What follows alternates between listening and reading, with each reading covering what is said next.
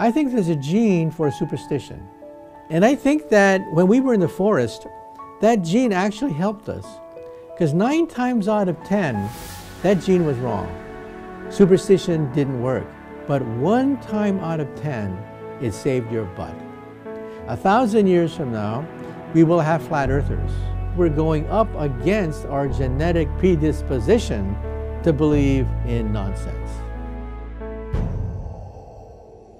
We still have flat earthers. We have people that don't believe in vaccinations. And what do we do about it? Well, first of all, I think there's a gene. I think there's a gene for superstition, a gene for hearsay, a gene for magic, a gene for magical thinking.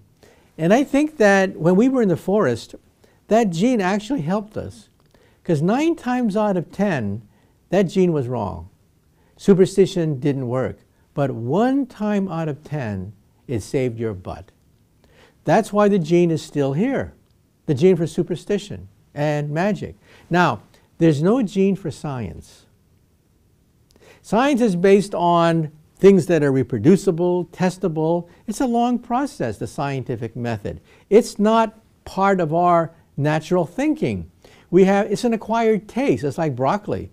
You have to learn how how the power can be unleashed by looking at your diet, for example.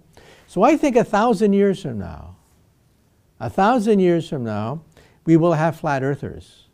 A thousand years from now, we will have people that still do not want to be vaccinated. Okay? So what do we do about it? Well, it's a struggle. It's a struggle that's eternal.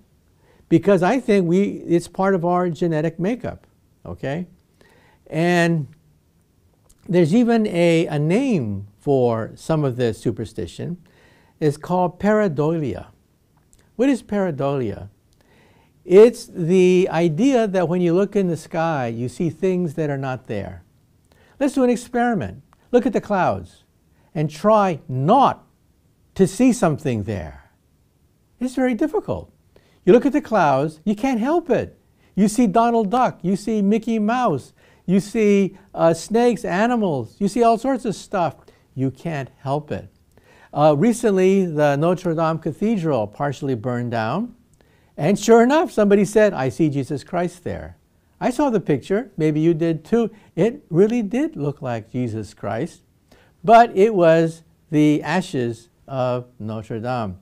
And how many times do people see the Virgin Mary in a, a glass of, of tea? So we are hardwired to see things that are not there because for the most part, they're harmless. For the most part, they do nothing. And once in a while, it saves our butt. And so that's why I think we will have flat earthers. We will have the people who don't like vaccination because hearsay throughout human history was the dominant form of information sharing. You know, the internet is very new. Newspapers are very new. Science and technology is very new. But gossip, hearsay, slander, rumors, there's a gene for that, okay? So how do you combat it? Slowly, carefully, painfully. It's a painful process, but in some sense, we're going up against our genetic predisposition to believe in nonsense.